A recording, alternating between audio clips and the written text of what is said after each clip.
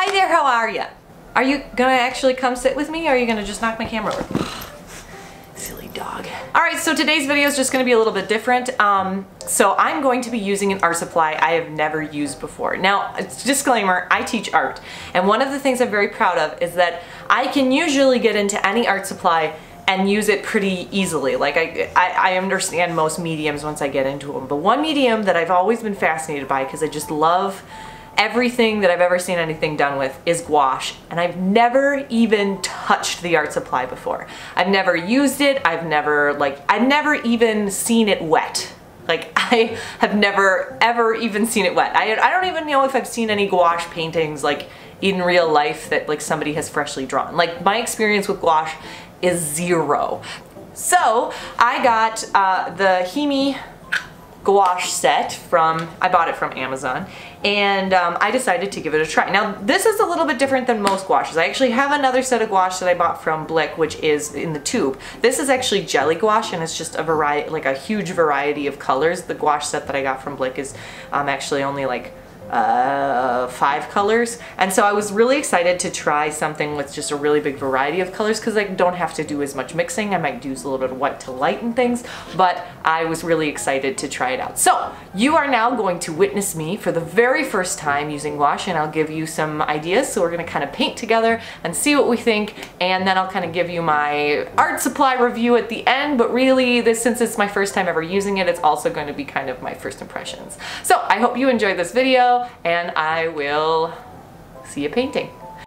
So the first thing I did was swatch the paints, not necessarily because I wanted to see the colors, but because I want to see how it felt on the paper. This is a smaller sketchbook of the same paper. I'm using B paper for this particular one, and I noticed it was actually really hard for me to clean the brushes good enough. I got some of my jelly pods a little messy, which is why I'm not showing you the jelly pods because somebody will be very sad with how I treated them.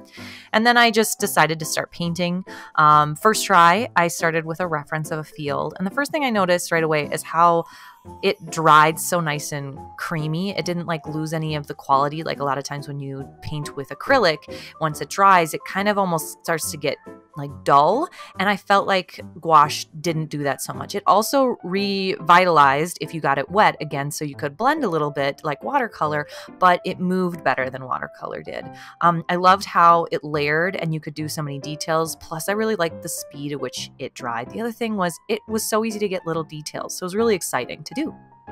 So to kind of wrap things up and kind of bring everything to a close, um, my final thoughts and of course the grade that I would give it. Uh, first of all, I loved these. I didn't know I could love something this much. I love watercolor and I love acrylic and it was like the best of both of those mediums and then just, I don't know if all gouache is like this. I'm gonna try regular gouache and do another like, maybe if you liked this video, if you thought it was fun, let me know in the comments down below and I'll make another video. But pretty much I'm gonna use the regular gouache and see if it's different than like the, the, the gwelly gouaches, the jelly gouaches.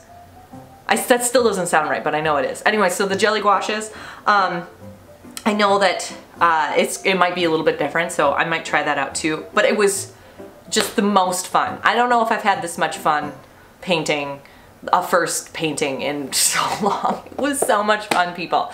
So um, I don't know if you were ever on the fence about using gouache. I know that it's kind of a medium that it's on Pinterest a lot and I've seen a lot of videos about it and that's kind of what drew me to it in the first place.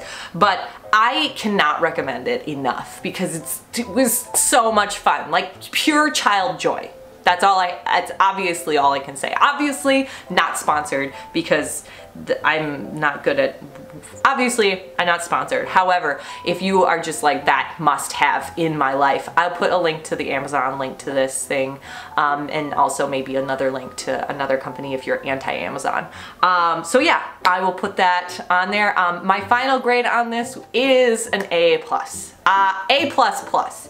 I loved loved, loved working with this. I can't tell you how much I loved working with this. It was such a surprise. And so, um, yeah, as an art teacher that's never used it before, uh, I think that everyone should definitely use this now. So, have a great, day. I hope that you found this helpful. I hope you like what I did. Um, let me know if you have any suggestions for what is a great thing to paint in the bottom below. Tell me if you've ever used gouache before. Do you like it as well?